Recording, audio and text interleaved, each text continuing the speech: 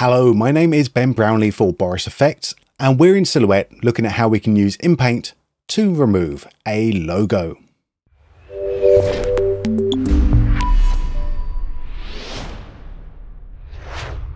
Okay, this is the shot that we're going to be working on, and we have a rather large logo right here that we want to get rid of. And we're going to use InPaint to do it. Now, if we look at the shot, the first thing we need to do is actually remove some of this grain. Uh, we have quite a grainy shot. If I use Alt and R, G and B to go through here, you can see we do have a fair amount of noise in the image. So uh, we're gonna we're gonna get rid of that. I'm gonna come into my nodes and I'm gonna go to grain and I can use something simple like degrain just to get rid of it or maybe use one of the newly included Sapphire filters, S grain remove to do the job as well. So I can come in and with my smooth, just take my smooth down just a little bit there. I even have different controls for smoothing out the luma. I'll probably keep that actually where it where it was. That was pretty good. And smoothing out the chroma as well so we can dial that in exactly where we need it to go. So we want to get rid of the grain, but we don't want to get rid of any of the details. So we need to just be, you know, just be a little bit careful about what we're doing. We will be adding grain back in as well, but, uh, you know, just for now, it helps us get a nice, cleaner image. There we go. It's pretty good. All right. So once we've got the grain removed done, we're going to come in and do the main work with InPaint. So if I apply my InPaint node and we take a little look at the tools on the top left hand side, hopefully these will seem rather familiar to you because these are basically the same tools that we work with when we're doing roto. And it's the same sort of object list as well. So I can uh, come in and just add a new layer here. I will call this one shirt. Let's let uh, Silhouette do most of the hard work for us uh, by tracking in this shirt. Okay, so I'm going to use a uh, an X spline uh, and just come in and uh, make a shape around about the front of his shirt. There we go. And you can see as soon as I close that shape, InPaint is going to want to do something. Uh, and that's because if we look at the object parameters over here, it's already got an algorithm running. I can select this one on the drop down menu, just say none instead.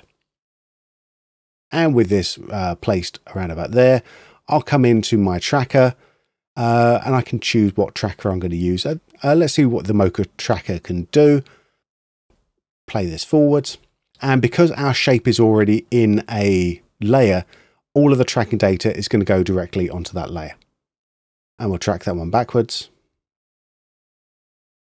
And that's looking pretty good. Let's let's have a little look what that's doing. So let's stabilize the viewer around the shirt yeah, that's going to be pretty nice. Like, even though we've got a huge amount of motion blur, the uh, the tracker has done a, uh, a really nice job there.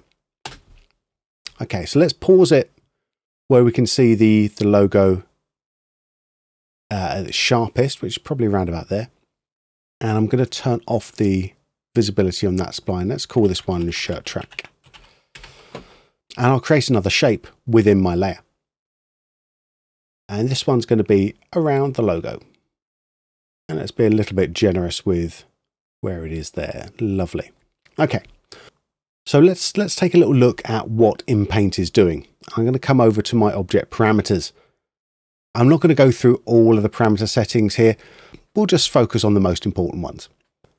So we're going to go with the uh, algorithm we've got uh, for us. We've already had a look at this drop down. We can go none.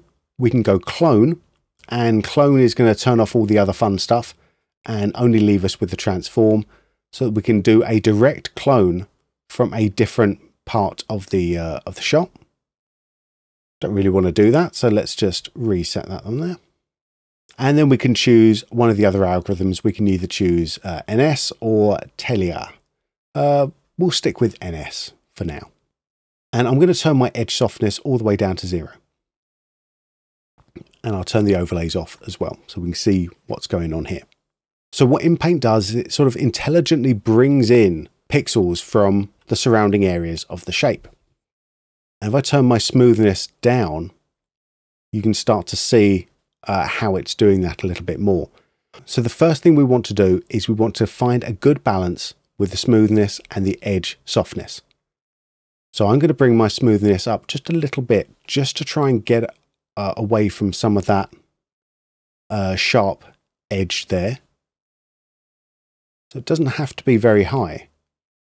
Uh, and I can also use an edge softness to come in and try to soften the edge out a little bit. And that's looking pretty good. So let's play that back. And because we've got this stabilized up, I really don't have to do much more. Let's unstabilize it or destabilize it. And that's looking pretty good. Now, just to show you, one of the things you might get if your edge softness is set up a bit too high, or if your shape is a little bit too, too large, you might start to see areas just sort of popping in from the surrounding pixels. And that's not particularly great. So what you what you would do there is you would just bring in and adjust things so that we're not collecting in pixels from the opposite area. So whether that's just by animating the shape in or by keyframing the smoothness and edge softness, that's something that you'll learn how to do. Uh, and the same here, we've got just a little bit sort of popping in there.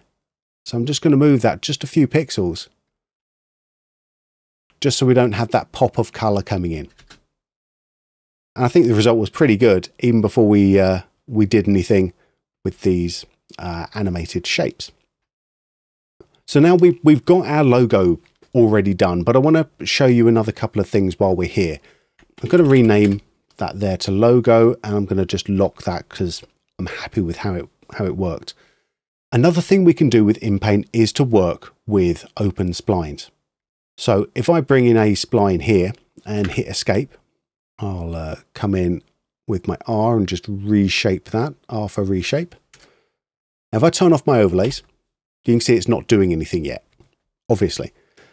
But if we come over to the object properties and I change my stroke width up a little bit, so it actually has a little bit of heft to it, you can see it is now going to be doing something. Uh, my smoothness and my edge softness are rather large, so they're basically counteracting all of the stuff that was happening. So I can try and smooth this out, but we end up just getting a uh, little bit of a zigzag there. And that's maybe not particularly bad when a, uh, a shot's moving as fast as this is, but we can we can try and do something else here as well. We can also do things like stretch. So stretch will will stretch out those pixels a bit more. Let's um kind of make the smoothness up a little bit. I'm going to make this a little bit extreme so we can see what's going on. And I can offset that either left or right so we can see which side it's going to be stretching from. I can even change my angle as well. So if we set that to around about 90 ish, you can see it's going to be stretching in the uh, more in the vertical direction. And I've even got an independent smoothness for the stretch. So if I set that down to zero, you can see where the stretching is happening there. So this is uh, quite nice if we're working with you know, either a fold in clothes or even certain, um, you know, wire or skin. Stretch can come in and actually help us out in a in a different way. So let's bring this in there. So what it's doing is it's so it's trying to cover up that area in a in a slightly different way.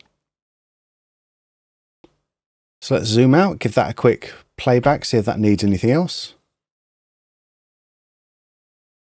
There we go. Might need a little bit more care, but I think that's looking all right.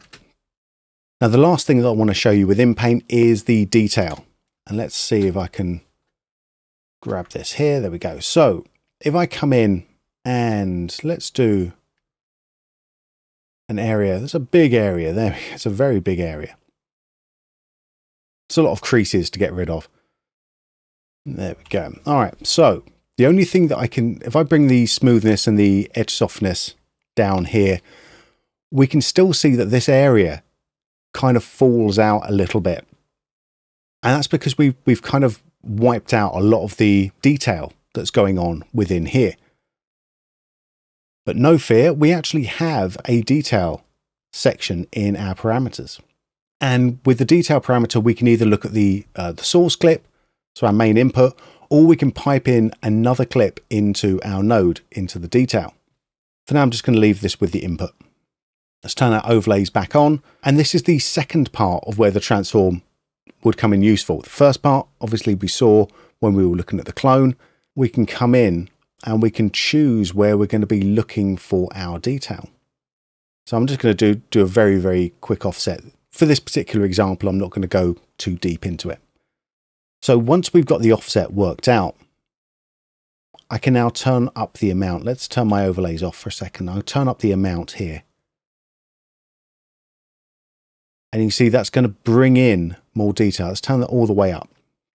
And we've got an amount, which is obviously how much detail we're bringing back in. And we have a level as well. And this level tells us what type of detail we're bringing in. And it goes between zero and one. At one, it's going to bring in high frequency data. So this is going to be useful for things like matching grain, matching skin textures. Uh, if we go all the way down to zero, this is going to be like the low frequency detail. And this is actually going to often be a bit better when we're just trying to bring in a little bit more of that sort of frequency in, into clothes or, or where we're, we're trying to just hide the fact that there is a, uh, just a flat area of color. Not completely flat, but you know, flattish. Uh, and if we're in the middle, then you know these are the these are the midtones. So we've got the high frequency at one, low frequency at zero, and then in between uh, those other values. And if I move this around, you can see if I move up too high, you can actually see the hello, his ears face just in there. There we go. So you can see what it's doing. It's not bringing in the, the color information. It's bringing in that detail information. So if you've worked uh, with Silhouette in the past and you've worked in Paint using the color detail separation mode, then you'll be very familiar with what uh, this is doing and how this is working. Bit of edge softness in there. You know, so we've got rid of the wrinkles, but we haven't just left it with a completely flat texture. Uh, let's let's have a look. I, I wonder if this is going to work out precisely because of the way that things are twisting around. It's probably not going to work out precisely. So we would have to do something more with this one uh, if we were doing this for real. We've actually done what we set out to do. We've we set out to get rid of the logo, and along the way we learnt a little bit more about InPaint. And the only other thing that we need to do at the end of this shot to make it look right again is to bring in some of that grain one more time. So we can do this in a number of different ways. We do have many filters that are dealing with grain. We just call, you know, D grain, grain, grain composite, S grain for the sapphire grain. You know, we just stick on a grain there, have a look at one of the presets that matches pretty much where we were at before. Maybe something like this and tweak this up. We could get a little bit more scientific and actually A-B it um, and try and match it to the original grain, but but that's good enough for jazz. The use of grain here as well helps to hide any of the uh, the sins of sort of over blurring as well. Not that we had any of that in this particular case, but that's just a nice little workflow tip for you. So that was removing a logo with InPaint. My name is Ben Brownlee for Boris FX, and I will see you in another Silhouette tutorial very, very soon. If you enjoyed this look at Silhouette and you would like to learn more, then head on over to borisfx.com, where you'll find hours of Silhouette, Sapphire, and Continuum tutorials. You'll also be able to download free trials of any product that takes your fancy.